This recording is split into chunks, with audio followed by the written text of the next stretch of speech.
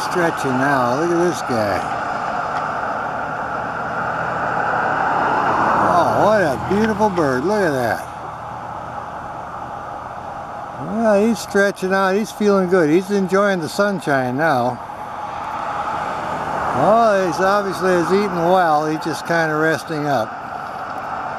He's looking over his shoulder here, seeing what's going on. We've got a little better sunlight now, so I thought I'd run a little bit from this angle here.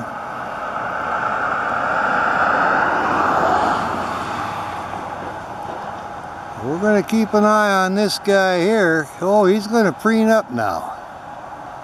we've been following for the last few days, and uh, he's pretty predictable. He likes this area here now, and uh, he's uh, catching prey, and that's why he's hanging out. Oh, yeah, this is our juvenile Peale's peregrine. Oh, he's looking up. I wonder what he's trying to see there. We've been seeing a lot of birds of prey, Cooper hawks, and we got a little bit of traffic today, but doesn't seem to bother this guy. He's gotten used to it here.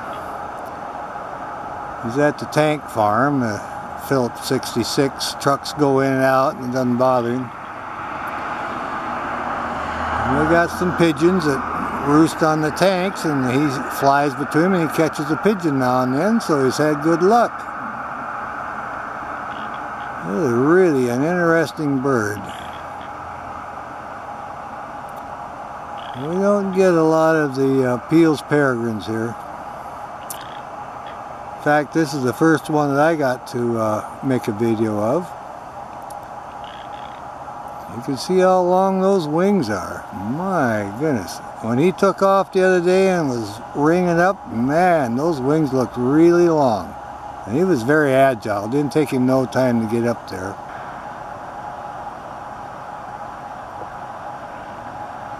He's got his mind on something there. Oh yeah, there he goes. He's on the hunt now.